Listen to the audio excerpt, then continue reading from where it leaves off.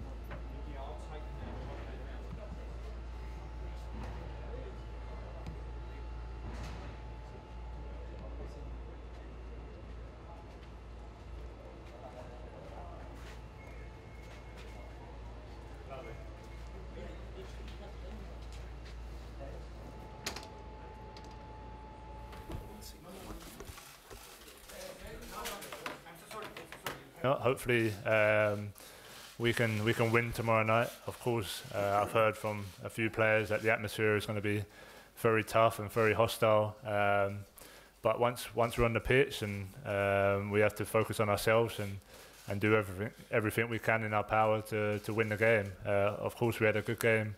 Uh, a few weeks ago against Red Star, um, but there was moments in the game, maybe at one 0 or two 0 where they had chances to, to score and get back in the game, and it could have been totally different. So we have to make sure we're ready in, in every minute, and uh, and like I said, try and get the three points, and it, will put ourselves in a in a great position.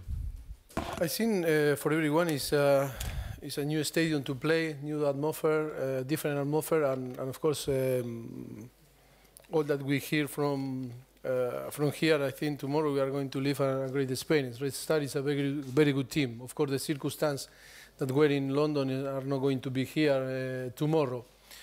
Uh, the last, uh, the last season, we can see um, how Liverpool uh, defeat the defeat of, of, Liverpool here, one of the best teams in Europe. Um, and of course, I think uh, we respect Red Star. We have full respect we are going to show big respect, but at the same time, we, we need to play in our best way, um, uh, being ready to fight because the atmosphere is going to be great. And, and of course, I want to live the experience and enjoy the experience because uh, I hear many things from, from this stadium, from the fans here on Red Star, and it's going to be fantastic tomorrow to, to be, to be there and, and, and enjoy, of course.